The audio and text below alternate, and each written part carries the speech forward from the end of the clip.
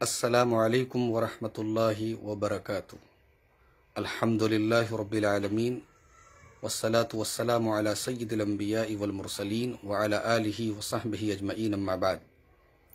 معزز ناظرین، الاسلام سوال و جواب پروگرام میں آپ سب کا خیر مقدم ہے۔ دوسرا سوال جو آج ہمارے سامنے ہے، حبیب الرحمن صاحب کا سوال ہے، کیا اللہ کے نبی صلی اللہ علیہ وسلم زندہ ہیں؟ دیکھیے، یہاں اگر زندہ سے مراد ہم یہ سوال سے مراد یہ ہے کہ کیا اللہ کے رسول صلی اللہ علیہ وسلم دنیاوی اعتبار سے زندہ ہیں؟ تو یہ بات یاد رکھیں کہ یہ غلط بات ہے۔ اللہ کے پیارے نبی صلی اللہ علیہ وسلم دنیاوی اعتبار سے وفات پا چکے ہیں، موت سے ہم کنار ہو چکے ہیں۔ جیسے سارے انبیاء کو موت آئی، آپ صلی اللہ علیہ وسلم کو بھی موت آئی۔ اللہ تعالیٰ نے سورہ انبیاء کی آیت نمبر 34 میں فرمایا کہ وما جعلنا لبشر من قبلك الخلد افئن مت فهم الخالدون۔ ہم نے آپ سے پہلے کسی بشر کے لیے ہمیشگی نہیں بنائی، کسی کو ہمیشہ نہیں رہنا ہے۔ تو اگر کیا آپ کو موت آ جائے تو کیا یہ لوگ ہمیشہ رہنے والے ہیں؟ اسی طریقے سے سورہ رحمان کی آیت نمبر 26 اور 27 میں اللہ نے فرمایا، کل من علیہ فان و یبقا وجہ ربی ذو الجلال والاکرام. اس زمین کے اوپر جتنی مخلوقات ہیں، سب کو فنا ہونا ہے اور تیرے رب کا جلال اور اکرام والا چہرہ باقی رہے گا۔ اسی طریقے سے سورہ زمر کی آیت نمبر تیس میں اللہ تعالیٰ نے فرمایا ان کا میتن و ان میتون. بے شک آپ کو موت آنی ہے اور ان لوگوں کو بھی مرنا ہے۔ تو صحابہ کرام نے آپ صلی اللہ علیہ وسلم کی وفات کے بعد آپ کو غسل دیا، آپ کو کفنایا، آپ کو دفنایا۔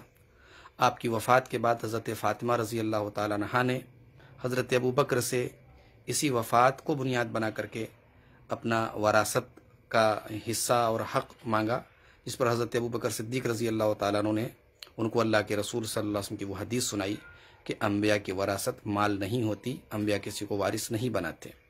تو اگر صحابہ کرام کے نزدیک اللہ کے رسول صلی اللہ علیہ وسلم دنیاوی اعتبار سے زندہ ہوتے، تو یہ کفنانا، دفنانا، غسل دینا اور حضرت فاطمہ کا وراثت طلب کرنا یہ سارا معاملہ نہ ہوتا۔ اسی طریقے سے اللہ کے رسول صلی اللہ علیہ وسلم کی وفات کے بعد صحابہ نے حضرت ابو بکر کو خلیفہ منتخب کیا۔ گویا صحابہ کا اس بات پر اجماع تھا کہ اللہ کے رسول صلی اللہ علیہ وسلم دنیاوی اعتبار سے آپ کو موت آ چکی ہے، آپ کی وفات ہو چکی ہے۔ البتہ برزخی اعتبار سے آپ زندہ ہیں۔ برزخی زندگی میں اللہ تبارک و تعالیٰ کی نعمتوں سے آپ فیضیاب ہوتے ہیں، لیکن یہ زندگی دنیاوی زندگی اور اخروی زندگی دونوں سے الگ زندگی ہے۔ آپ کی جو زندگی ہے برزخی زندگی، وہ شہداء کی برزخی زندگی سے بہتر اور کامل ہے۔ شہداء کے بارے میں اللہ تعالیٰ نے سورہ آل عمران کی آیت نمبر 169 میں فرمایا کہ ولا تحسبن الذين قتلوا في سبيل الله امواتا بل احياء عند ربهم يرزقون کہ جو لوگ اللہ کی راہ میں قتل کر دیے جائیں، انہیں مردہ مت سمجھو، وہ زندہ ہیں، اپنے رب کے پاس رزق پاتے ہیں۔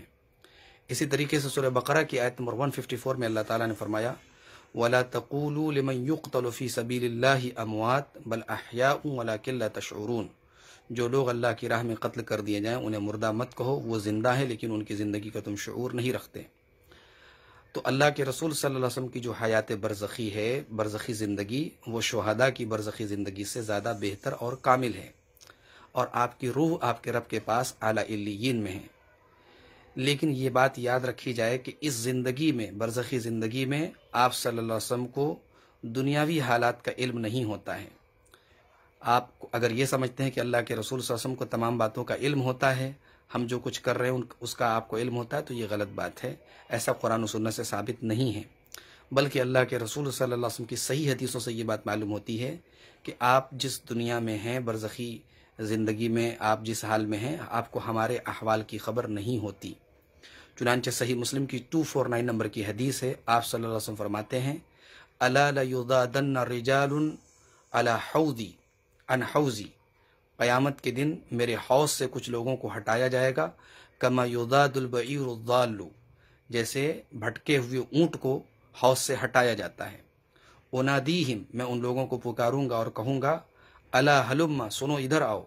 فیوقال تو فرشتے کہیں گے، انہم قد بدلوا بعدک۔ ان لوگوں نے آپ کے بعد دین کو بدل ڈالا تھا۔ فاقول سحقا سحقا، تو میں کہوں گا کہ بربادی ہو بربادی ہو۔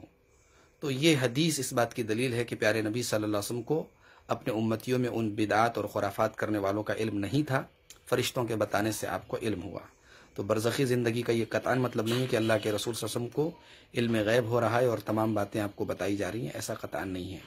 واللہ عالم بثواب والسلام علیکم ورحمۃ اللہ وبرکاتہ۔